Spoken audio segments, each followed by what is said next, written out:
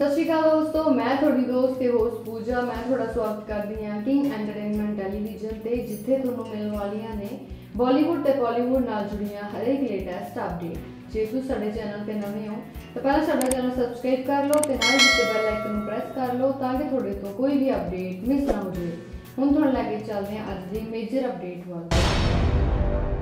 favourite ਸੰਗੀਤ ਦੇ Punjabi and Hindi famous singer Badshah ਵੱਲੋਂ ਜਿਨ੍ਹਾਂ ਨੇ ਆਪਣਾ ਸੌਂਗ ਅਨਾਉਂਸ ਕੀਤਾ ਹੈ ਜਿਸ ਦਾ ਟਾਈਟਲ ਹੈ